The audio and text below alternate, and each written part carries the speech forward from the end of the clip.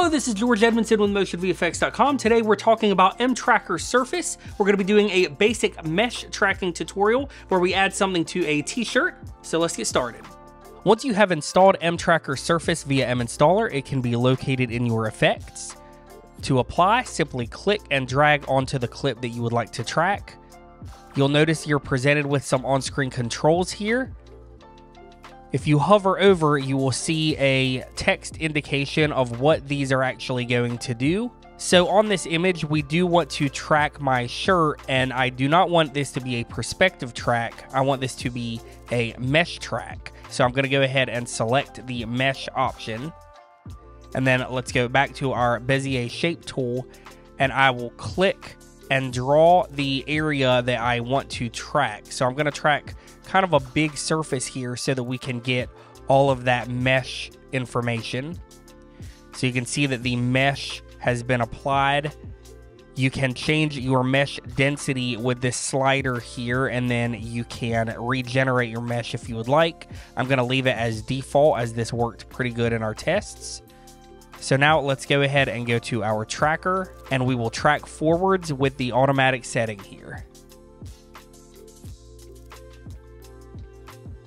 All right, now if we would like to take our playhead, we can scrub through and just kind of check that mesh. And you can see that that is warping and doing everything right along with the shirt, which is exactly what we want. So the next thing I'd like to do is over in our inspector, you can see we have all of our layers and our layer information, and then we come down to our drop zone. So I'm going to click my drop zone well, and I'm going to apply our balloon here, and you can see that that's applied to the shirt and then let's go to apply clip. So under effect, you can see that we have track and image selected. If you go to track, you can see that that track will go beyond the bounds of our lines here. I am just going to change that back to track and image because I'm going to go down to our pan and scale options in the drop zone and we're just going to go ahead and scale that down until that looks right and about where I want it for my shirt. Now beneath here, we see image settings. We've got different blending modes. I'm gonna change this to multiply as that looks the best on this particular composition. I'm gonna bring my image opacity down just a bit, maybe 0.95.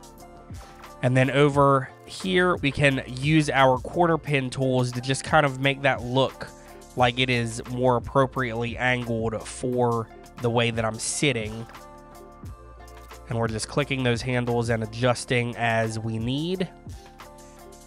And then below here, we also have our move brush and our bulge and pinch, and then our iron to fix any uh, changes that we may have made.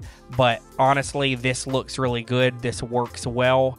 I'm going to go ahead and scrub through really quickly, and you can see how our shirt is warping. Our balloon is warping along with our shirt perfectly, so that's great. We can go really quickly into our image effects, and I'm going to go ahead and add a blur. So you can see over in our inspector, when I do select that, we have the different options for our blur, or we have this on-screen control for intensity. And I'm just gonna bring that down a bit. We can enable our motion blur. So that's obviously, you're only gonna notice that when we are in motion.